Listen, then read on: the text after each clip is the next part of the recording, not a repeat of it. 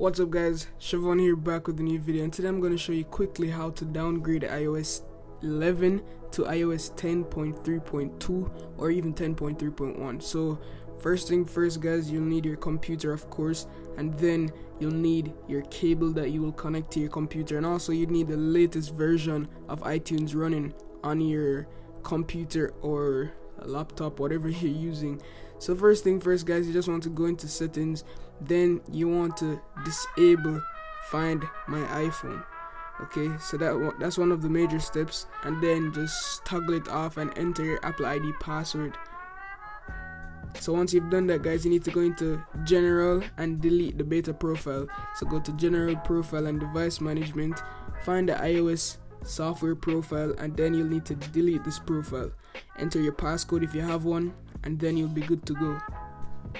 So once that's done guys you just need to go onto your pc then type in ipsw ipsw me or just type in ipsw come up. It's the first link down below in the description so you don't have to worry. Once you're on this website it will bring you to this penguin thing looking. You just need to choose your device in my case it's the iphone. Then you need to choose the model. You both have gsm and global. Gsm is the one that use sim card. Global doesn't use a sim card. So here you can see two green ticks.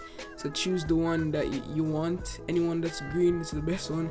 Then you just need to download. So this might take a while. Just save it onto your desktop so it'd be easier to find. It might take a while so i'll just jump forward to when it finished downloading says guys once it has finished downloading you just want to locate the file on your PC then you want to go ahead and open iTunes. So once you've opened iTunes now you could connect your PC to your to your phone. So just get your Apple charger and connect it to your phone. Um yeah. So once that's done guys once you connect to your phone you just need to hit the phone icon that you see the little phone icon right there. Then once you hit the phone icon need to unlock your phone of course if it's locked. Then what you want to do is hover over that check for update icon right there the check for update button. Hover over it hit shift. Hold down on shift. I'm not sure what is on mac but hold down on shift. On mac it's the equivalent to shift. And then you want to click the check for update then locate the IPSW file that you just downloaded which is the iOS 10.3.2 or 10.3.1 so once you hit open you can see the icon that says update. You just need to click that button. In my case I will not update it to iOS 10.3 even though it says update you're still downgrading without losing any data at all.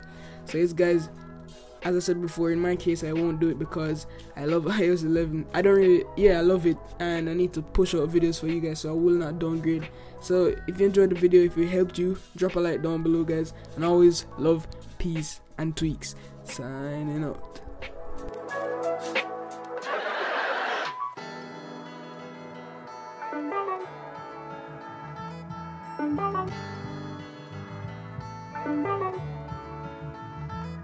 Thank you.